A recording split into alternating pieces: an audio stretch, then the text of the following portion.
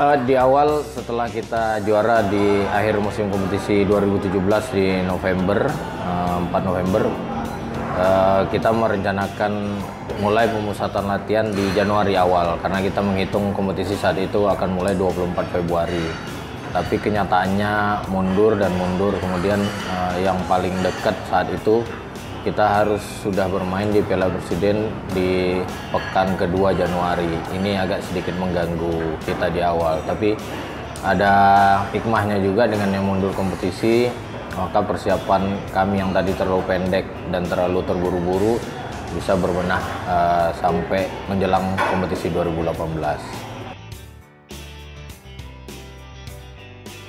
Pertama setelah kita menjadi juara di 2017, kami melakukan evaluasi terhadap semua kinerja tim, baik teknis maupun uh, di luar teknis atau non teknis. Kemudian unsur-unsur apa yang uh, kami anggap baik tahun lalu kami tingkatkan dan pertahankan. Kemudian unsur apa yang masih kurang musim ini akan kami perbaiki. Uh, kehilangan beberapa pemain saya pikir itu wajar di sepak bola dan uh, datang dan perginya pemain itu saya pikir sudah uh, hal biasa di di sepak bola mana pun.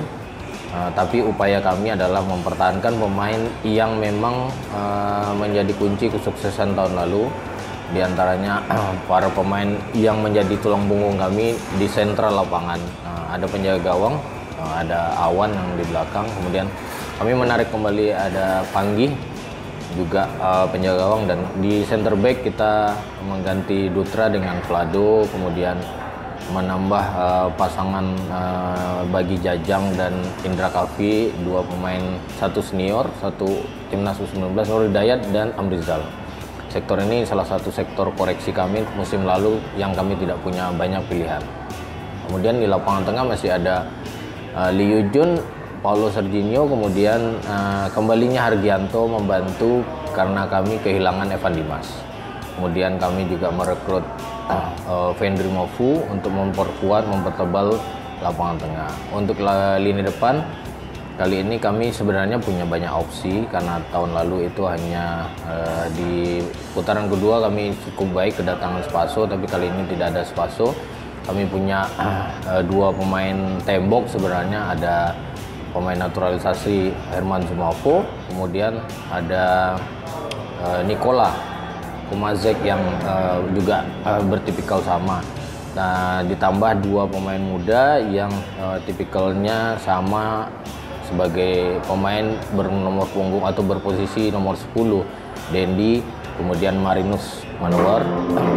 Tapi di tahun ini uh, beberapa pemain bisa bermain berotasi di posisi yang lain seperti Vendir Mofu dan Paulo uh, sering juga kita mainkan sebagai tandem di lini di lini depan. Kemudian untuk mengisi posisi back kanan, back kiri, bahkan beberapa pemain uh, central back kita bisa bermain di sana. Kadang Nur Hidayat, kemudian Amrizal bisa bermain di kanan menggantikan Putu dan Alsan. Di kiri pun juga kita juga telah mempersiapkan uh, Fahrudin, kemudian Alsan dan ada Maldini sekarang yang sudah kita koreksikan. Secara teknis seperti itu.